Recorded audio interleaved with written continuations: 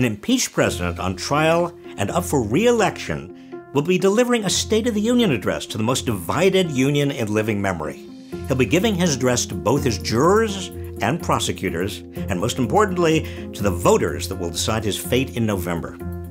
It's not unprecedented for an impeached president to give a State of the Union address. Bill Clinton delivered his State of the Union in 1999 while in the middle of his Senate trial, but that's where the similarities end. Clinton was not up for re election when he gave his speech, so he didn't need to employ any campaign style rhetoric. Trump is a polarizing, divisive president who's addressing an America that has never been so divided. But this begs the question why are we so divided? We're not fighting a hugely unpopular war on the scale of Vietnam. We're not in a deep economic crisis like the Great Depression. Yes, of course, we disagree about guns, abortion, and immigration, but we've disagreed about them for decades. So why are we so divided now? Ferocious partisanship is not new. Newt Gingrich, the Republican Speaker of the House who led the House's impeachment investigation into Clinton, pioneered the combative partisanship we're used to today. But today's divisions are far deeper than they were then. Now, part of the answer is Trump himself. The great divider knows how to pit native born Americans against immigrants, the working class against the poor, whites against blacks and Latinos, evangelicals against secularists, keeping everyone stirred up by vilifying, disparaging, denouncing, defaming, and accusing others of the worst. Trump thrives off disruption and division. But that begs another question. Why have we been so ready to be divided by Trump? One theory is the underlying tension that an older, whiter, and less educated America, concentrated in rural areas, is losing out to a new America that's younger, more diverse, more educated, and concentrated in urban areas. These trends, while much more prominent these days, have been going on since the start of the 20th century. So, why are they causing so much anger now? Another hypothesis is that we're geographically sorting ourselves into Republican and Democratic regions of the country, surrounding ourselves with like minded neighbors and friends, so we no longer talk with people who have opposing views. But why are we doing this?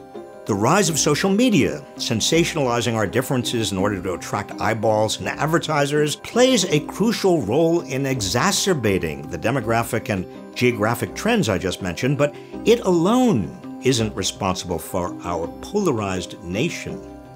Together, all of these factors contribute to the political schism we're experiencing today, but none of them alone point to any large, significant change in the structure of our society that can account for what's happened.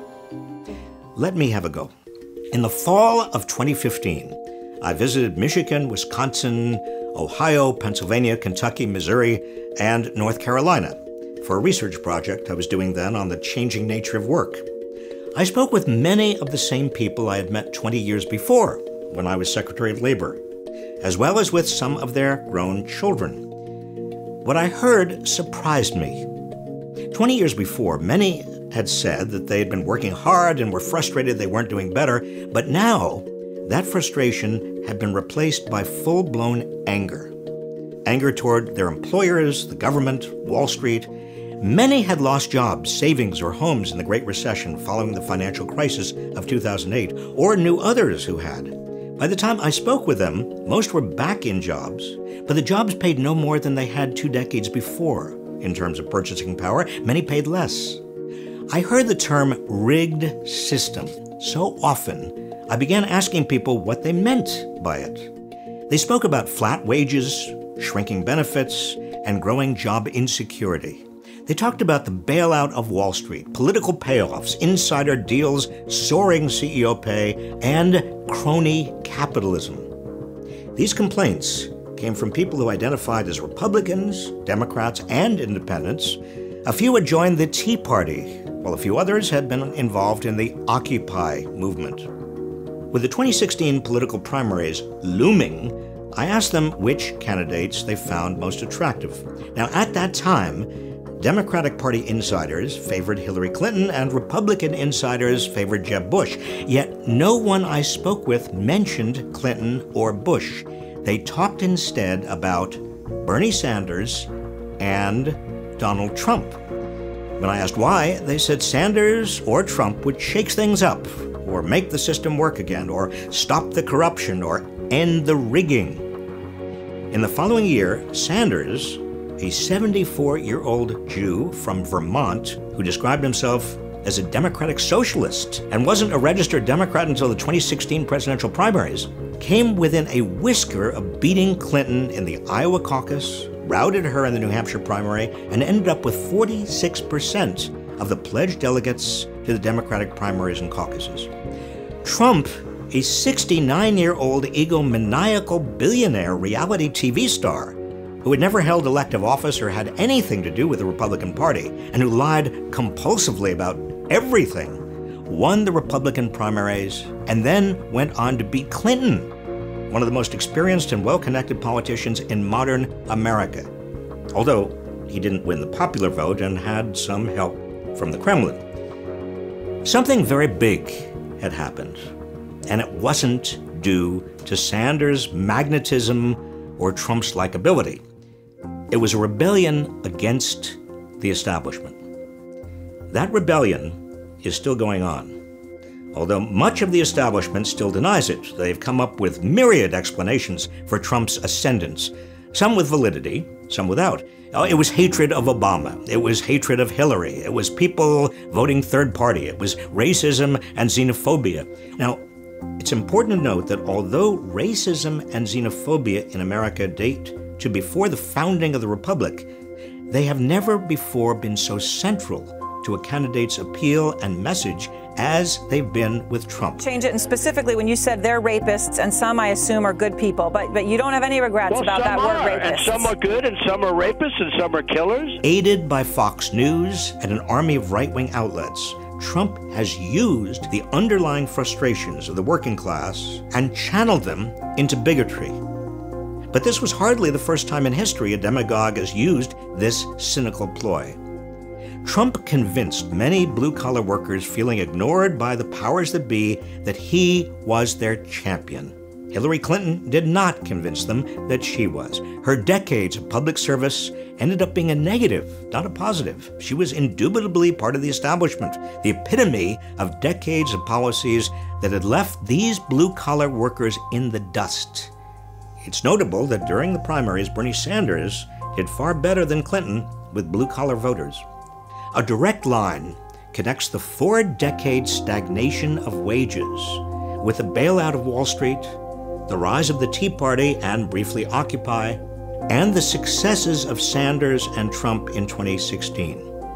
By 2016, Americans understood that wealth and power had moved to the top.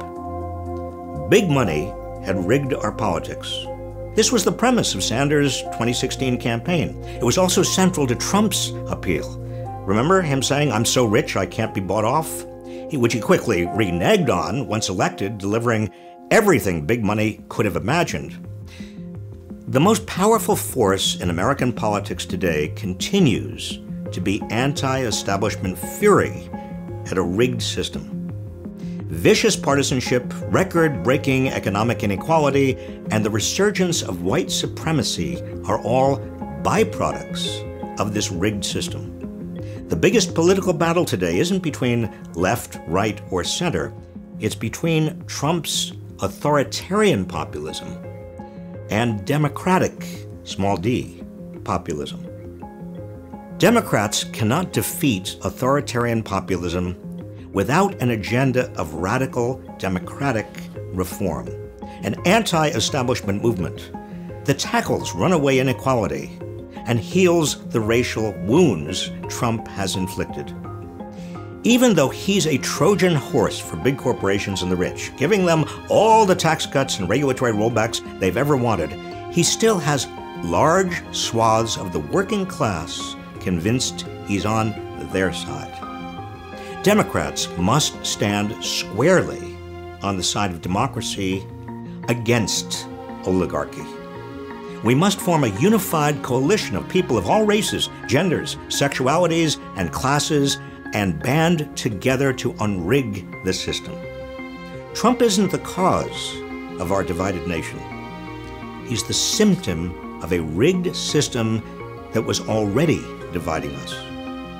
It's not enough to defeat him.